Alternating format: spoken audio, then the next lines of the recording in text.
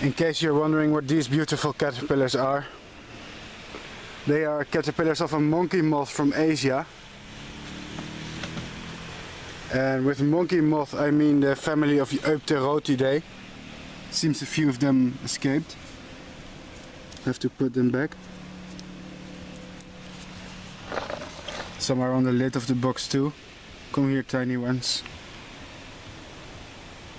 Anyway, with uh, monkey moth I mean the family of Eupterotidae. It's an interesting family, not many people breed them. And these larvae are very small.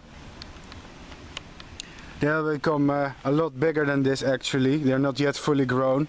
I think this is the fifth instar and have in total about eight instars. It's interesting they have sharp uh, hairs on their back. It will stick into your skin like many Lasiocampidae uh, have. So if you handle them too much uh, they may uh, hurt your fingers. But yeah, I have a lot of them in here as you can see. There's about uh, 21 in here. See? They're all everywhere on the leaves. And it seems, they seem to be doing quite well.